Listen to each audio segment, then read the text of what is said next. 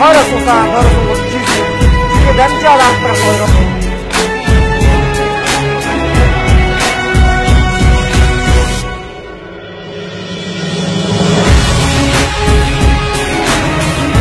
Bağırtıksa yüzünde bana yüzü ben bana düştü. Onda öyle koyun onu okuşu. Ben ben sana kalmışsın.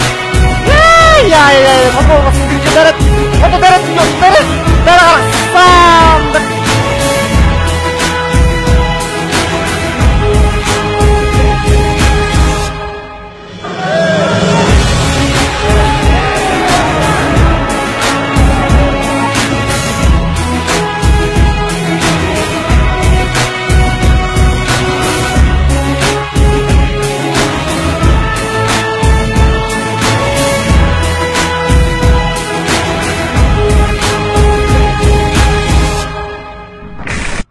13-аас 14 оны дэлхийн аврагын цикл чи үнэхээр мундаг байсан. Үнэхээр чи формтой байсан. 16 жил хөдөлмөрлөж байж өнөөдөр дэлхийн мэд алтан болж байна.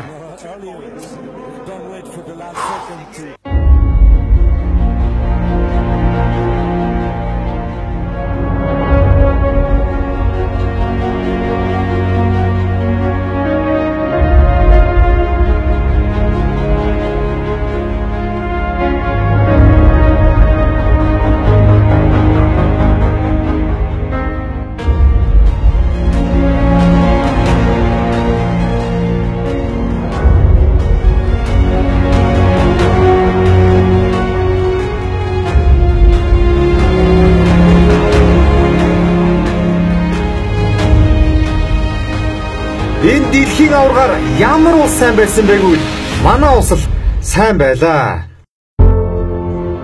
30 жилийн дараа нэг дэлхийн аваргаас 3 медаль авлаа. 5 тамирчин медалийн төлөө финал шалгарлаа. 40 жилийн дараа багаараа дөрөв турч түүхэн дээр дамжтайг давтлаа үзэгчтэй. 1975 онд тухайн үед хэдэн орон дэлхийн аваргад ордог байсан. Одоо хичнээн орон ордог болсон үе лээ. Одоо олон орсуудад тулдаг болчихсон үе шүү дээ. А эрэгтэй чөлөөтөх барилдааны хувьд бол оргилдо хүрээд хөгжчөөд байна. Олимпийн цирктэр ярих юм бол 1972-оос 1976 оны Олимпийн цирклийн дунд 3 дэлхийн аваад Монгол улсын шигшөө 8 медаль авсан дээр дамжтай байдаг. За энэ бол яг манай авлагч бол төдийлөн бас сайн мэдэхгүй байхаа.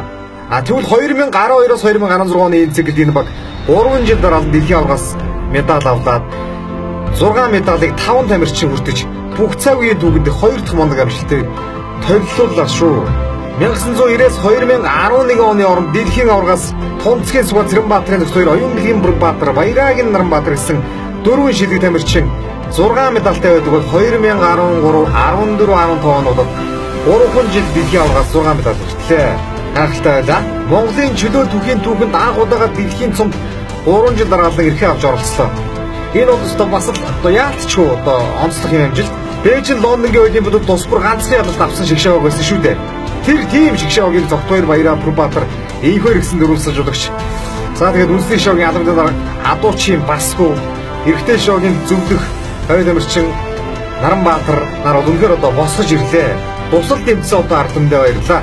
Тэр спортын хөгжлийн төв За тэгээ хойд амирчин дэлхийн арга урилдаад Нансдын бүрлээ түүний тайган малтай группийн хамт олон Бат Эрдэнэ захиралтай хүч чулууд компани, оргил захиралтай 10 ондс Монгол 333 корпорацийн хамт олон Алта констракшн компаниудад баярлалаа.